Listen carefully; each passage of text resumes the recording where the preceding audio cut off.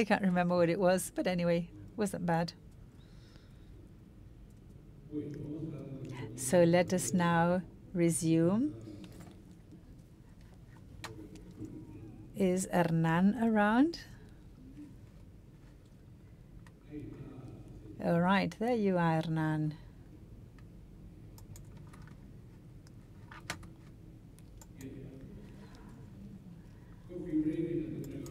So, coffee break. Many should be back now. In the next presentation is called LAC 2022 10 version 2.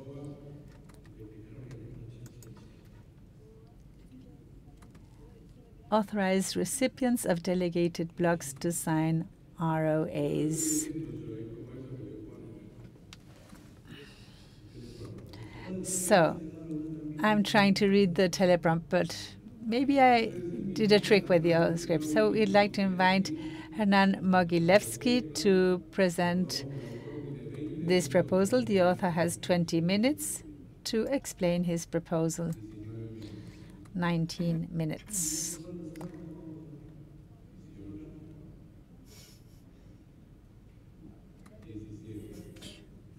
18, 17.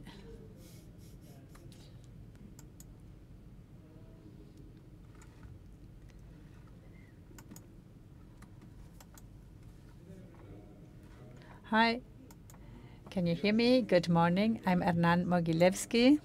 I'm going to present the proposal authorized recipients of delegated blocks to sign ROAs.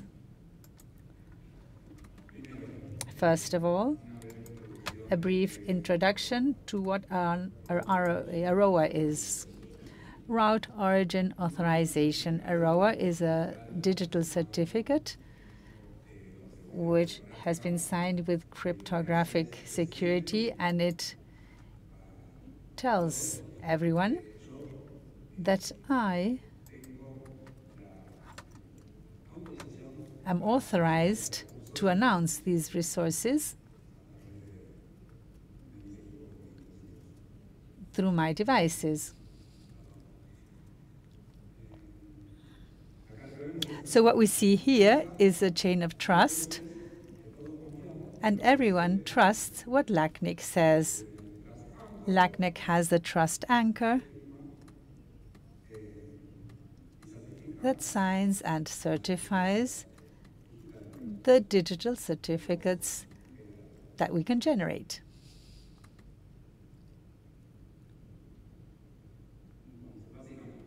So basically, what is a problem? Operators who have delegated IP blocks cannot sign the ROAs of the delegated segments. They have to request those who delegated those prefixes, those IP blocks, which is to the holders thereof, to sign the ROAs.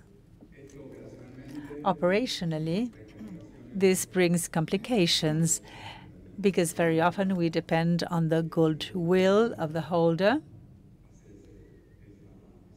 in order to proceed to the signature or of the timing, which not which might not be our own timing. So the proposal is that when you receive a delegated block, and when you register that delegation in the WHOIS, then the recipient might have the opportunity to sign these certificates stating that I can announce an IP block with an autonomous system. So you have the capacity to generate that certificate and to revoke if required. Now, this is a second version of the policy. The first one received good comments from the impact analysis that were taken into account for the purpose of this second version. So what we did was to remove the exclusive capacity of the recipient because a holder of the resources should be able to maintain that capacity provided by LACNIC's resource assignment of amending the ROAs for that because they are the holders. You'll see that the word client has been highlighted. This was an involuntary error in my wording. If the proposal were to reach consensus, the suggestion is to do an editing of to remove that word because it was a mistake when I uploaded it to the policy. So it's not a word that should be there. Therefore, the proposal would not include that word. Another part of the proposal that was removed from version 1 to version 2 is that we had added a solution, an administrative solution, which was of an operational nature as to how to manage certificates, and this was also objected by the impact analysis, so this was also taken into account. So there's not much more that I have to add. So thank you, Hernan. We'll now proceed to the impact analysis. We invite Mariela Rocha from LACNIC's staff.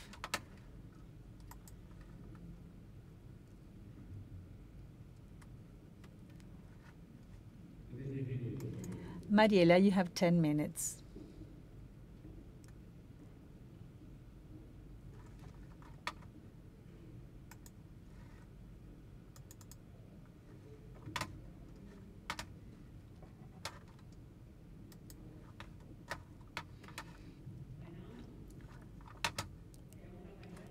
So let us wait until this comes up on the screen. The impact analysis.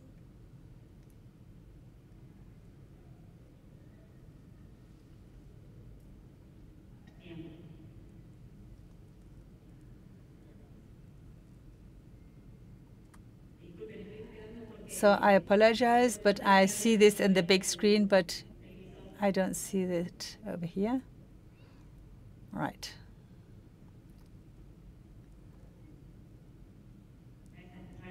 All right, thank you. So staff comments on this proposal submitted by Hernan. The comment we have is that LACNIC understands that when a member that received the resources from LACNIC eliminates that sub-assignment, then the associated ROAs will be revoked. That is our comment. Among the recommendations, this has to do with what Hernan mentioned. So for the reasons of consistency with the terminology in the manual, either to remove the term client uh, and use recipient or substitute with the phrase the receiving client, replacing that with the organization holding the sub-assigned resources. As to the impact, in the case of approving this, there are several systems that might be affected. For example, RPKI, MiLACNIC, and some others. The term for implementing this will be communicated to the list in case this uh, proposal is approved. Regarding the NIRs, NIC BR and NIC Mexico, we have an impact done by them too. One of the things that we have to highlight is that NIC Brazil was telling us that because they use a delegated model, any entity that receives assignments and wishes to use RPKI must establish and configure its own certificate authority. That on one hand, and on the other hand, if the provider that will create mechanisms for that sub-assignment that should be in the offspring uh, resource. Uh, well, she corrects herself. She, cor she corrects herself. The, the provider will also have to create mechanisms in order to have uh, sort of offspring certificates. So if these are cancelled, the issued certificates have to be done in a synchronized way. This is what NIC Mexico was telling us. She corrects herself. It was NIC Brazil that this should be taken into account in terms of the impact. Impact in the case of NIC Mexico, this NIR shares the impact analysis with us because they use the same model for ROA generation. That would be all. Thank you very much.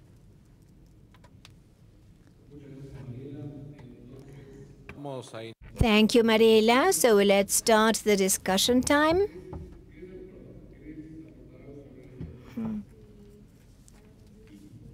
Y que iba a decir que eh, tomé prestada la imagen de la cadena de confianza. I I want to say that I stole the image of the chain of trust. I, it's Carlos Martinez, so I'm sorry I should have said that. Excellent. Anything else about uh, the presentation? The the bingo people say that you have to add the word Verna and Verdugo. Uh, he's joking. It's a joke.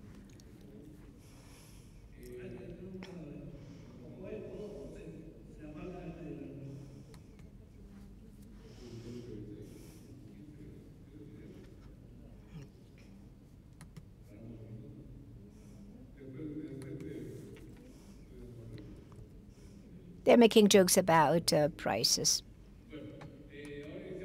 So now let's start the discussion time. We invite you to share your doubts, uh, uh, feedback in the Q&A uh, panel or by raising your hand in uh, Zoom uh, and the microphones that we have here.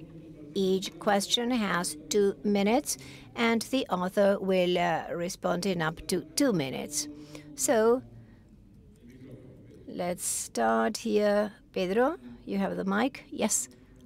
I'm Pedro of the U of the Federal University in uh, Paraná.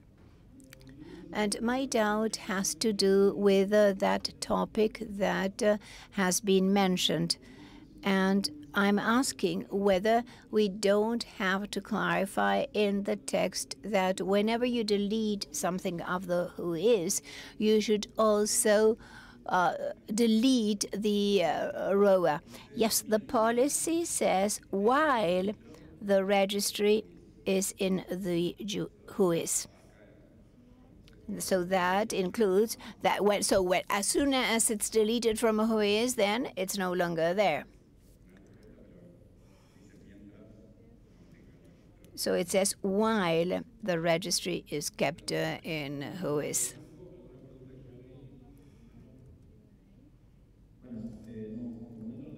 No, we don't have any in the Q&A or at no raised hands. So, what's your name? Where do you come from? I'm Carlos from LACNIC, and I, I wanted to answer Pedro's uh, comment we uh, we wouldn't like the policy to be so specific, uh, saying revoke, because that has implications in of software, writing of software. I think uh, that it's not good to include that in the policy. I think that, well, the uh, you can just translate that into implementation. Franco, do you have any Q and A's? Uh, let's just tell me. None so far. Hello, good morning. I'm Pablo from Argentina. We'll support Hernan's proposal. The operational problems are real for the ISPs. The only thing that I challenge is the length of the prefix. It should be a slash 24 for IPv4 and slash 28 for IPv6 because most of our upstream providers put that limit to provide us the prefixes. So I wouldn't be able to do that with a, a transit client with uh, longer prefixes, not longer than that. But in German terms, we agree with the policy and we we support it. Thank you, Hernan.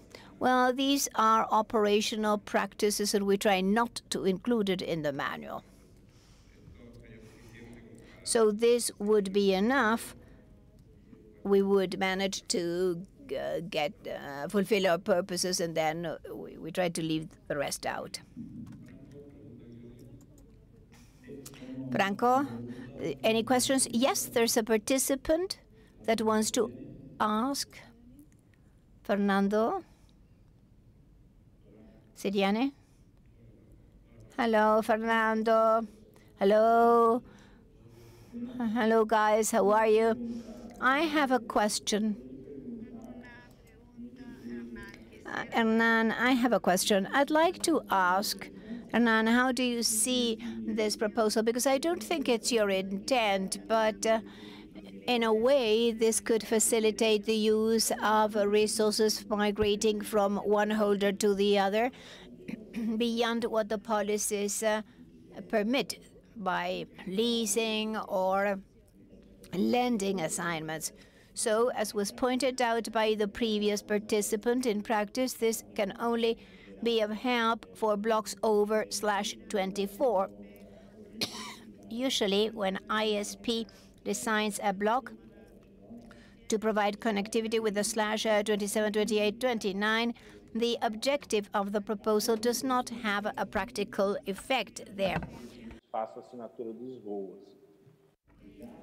The only option would be if the holder, when you assign uh, blocks over slash uh, 24. So this is whether the announcement of that block of the SAN, whichever it is, is being done for the purpose of using resources and not as a lease, as is done by CDNs. So the CDN resources are announced by other ASNs, and even so, the resources continue being used by the companies who are the holders of the resources. So I'd like to ask Hernan, how do you view this in the sense that this could facilitate this type of practices or not? Thank you.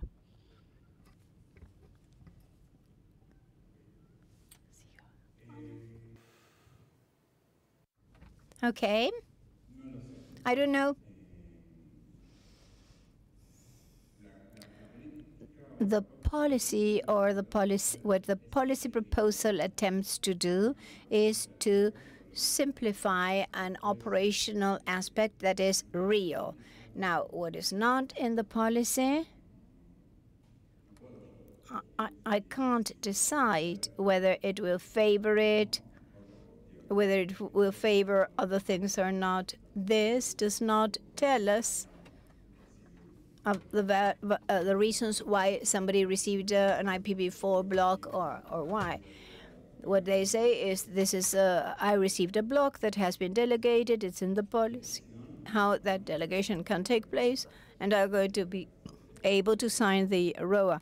So that is the scope of the policy. Thank you, Hernan. Well, let's go. Well, hello everyone. I'm Nicolas of Colombianet, and my question is similar to that of the previous colleague.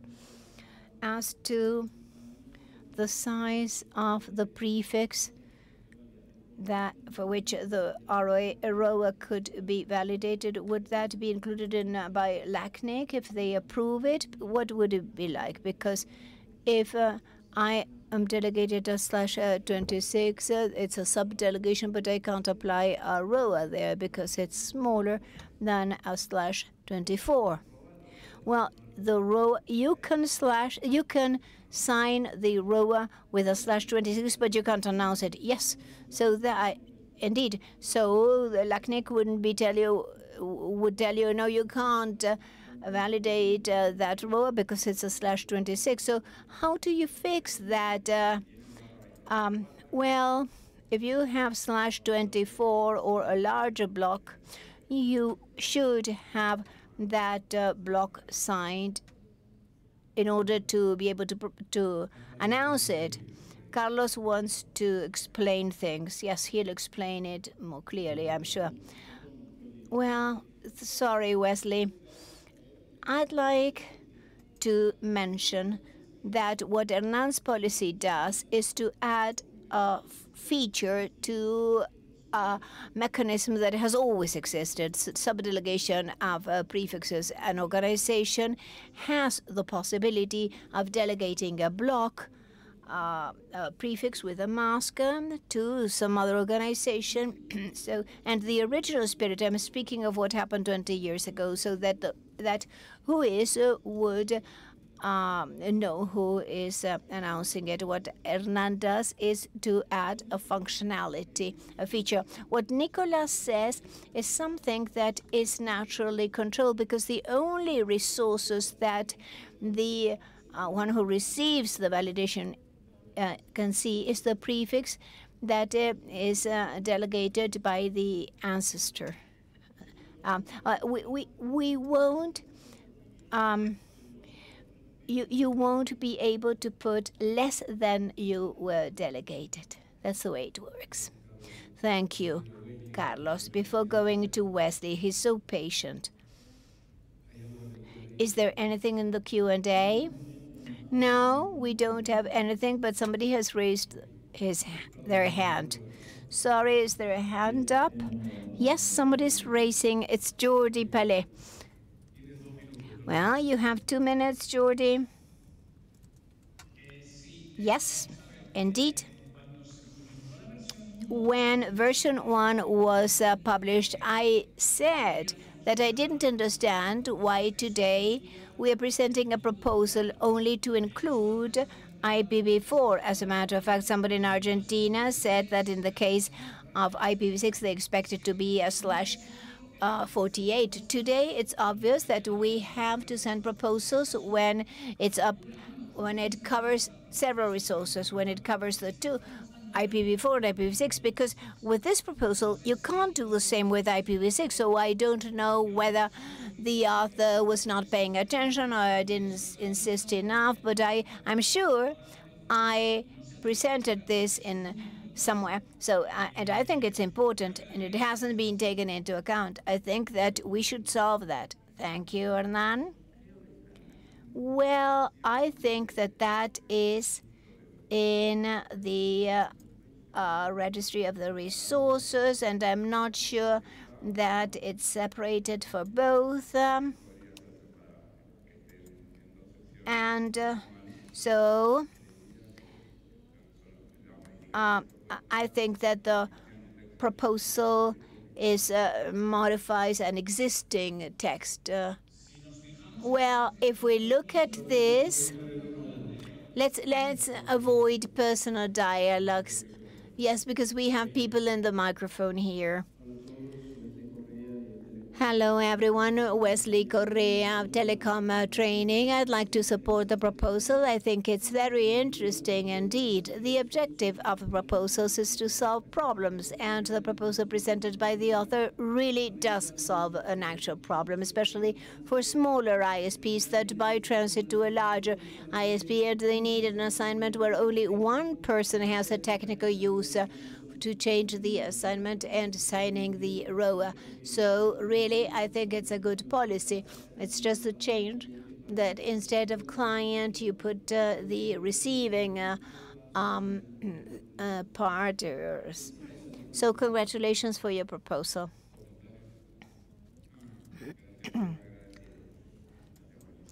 Thank you, Wesley. Well, here Franco Q&A. Nothing so far. We could help by saying here Mila Knick or CWFQ.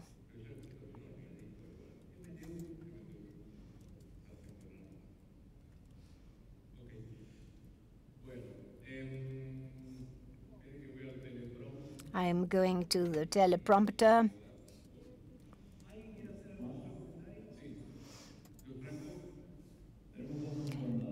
We there are two people raising their hands.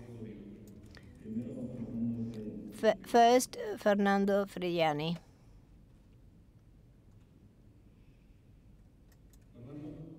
Fernando? Can you hear me? This will be a question based on the comment made by Carlos that uh, made me doubt. If a client of an ISP that is not an ASN receives a slash 26 uh, and signs a ROA for that slash 26, but with the ASN of the internet provider because he won't be able to announce that block having uh, um, in our RPKI query for that block in a slash 26 and a larger block of the provider would be that be a valid query? Would that protect that subdelegated block subassigned block? Well i don't know whether my question is clear. If i understood it if somebody receives a subdelegation of a slash 26, uh, um, yes, uh, they will have problems uh, announcing the validation, but that uh, is a problem of the ASPs that for good reasons they don't accept anything smaller than a slash 24. That doesn't mean that people are not announcing smaller things in certain environments, for instance, on IXP, and there they can generate a ROA for a slash 26. In some cases, it may make sense.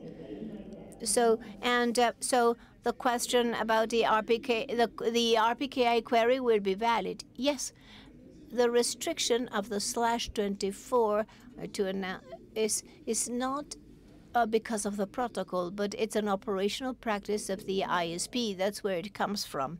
Thank you. Hernan? Yes, I agree. Yes, one could say as we as you can say I'll announce a slash 24 and and uh, 24 or a slash 19 and the slash uh, 20 you could say from slash 24 to slash 26 and that would be perfectly valid and it would be uh, valid for all uh, the environments where you need to announce the prefix. Second online comment. Franco? Yes jordi. Just for sake of clarifying what i mentioned earlier precisely this problem is what is expected to be solved with the proposal I made earlier on. Section 2 is for IPv4. Section 4 of the manual is exclusively for IPv6. I understand that the purpose of this proposal is to for the two applies to the two. It would, it would be pointless to cover IPv4 and not IPv6.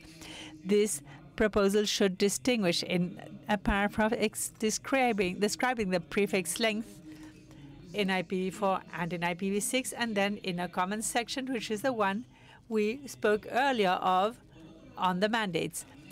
I, there is another thing that we have to understand. It is not desirable that providers sub-assign IPv6 prefixes. It is the these organizations that should receive these prefixes directly by direct subassignments of the RIRs. In this case, this is LACNIC. We do this in IPv4 because in addition to the scarcity of addresses, these subassignments or allocations are necessary. But it would be necessary if this proposal is approved, which will have implications on several registry systems, to do this right correctly right from the outset instead of doing it twice. Well, I didn't fully understand if what you were saying is right or wrong, if it's okay to sign the ROAs, but it's wrong to delegate them. So don't delegate, but yes, I'll authorize them to sign the ROAs in IPv6. I wouldn't stop the development of this policy because uh, a part is missing for IPv6. What I would do is to continue with this policy, and I would add another policy, if required, to the other to another part of the manual, or wait until the policy on integration is implemented to see what it looks like afterwards. But for the time being, I think the majority would be all right. If it is in section 2 of IPv4, this section 2 on IPv4 is implemented. Thank you, Hernan. Nobody else is at the microphones here. Microf Franco? No requests online. So before we proceed to measure the temperature, those who think are going to raise your hand against this proposal, I'd like to invite you now to explain your position.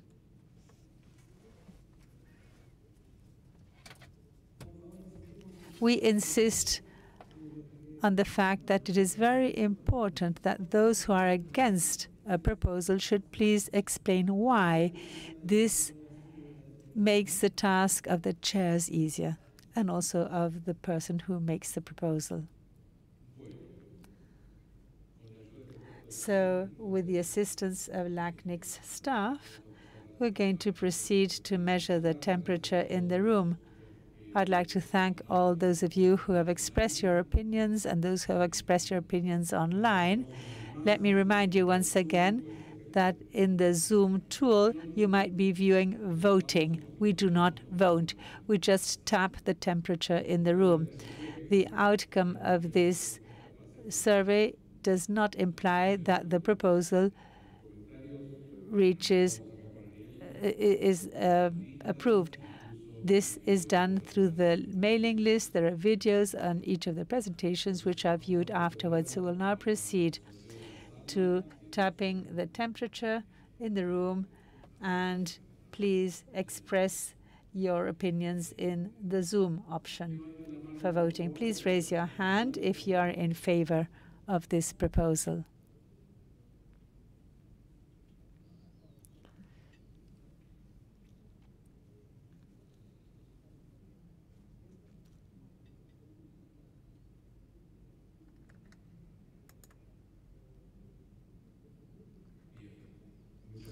Thank you. Please raise your hand if you are against this proposal, please.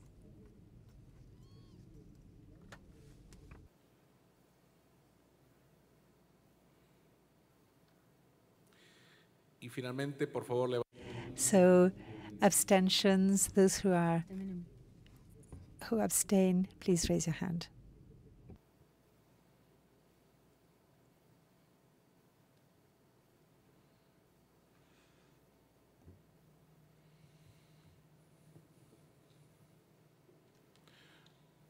Muchas gracias. Thank you. So proposal LAC 2020-10 version 2 completed eight weeks of discussion on January 19, 2022. So as from today and into within two weeks' time, the moderators will communicate to the community if this proposal 2020-10 authorized recipients of delegated blocks to sign ROAs. The discussion will continue in the policy list. We showed this at the beginning. Those who need to know which is the list, please write to Ariel or to me. Thank you, Hernan, for your proposal. Can we give him a round of applause?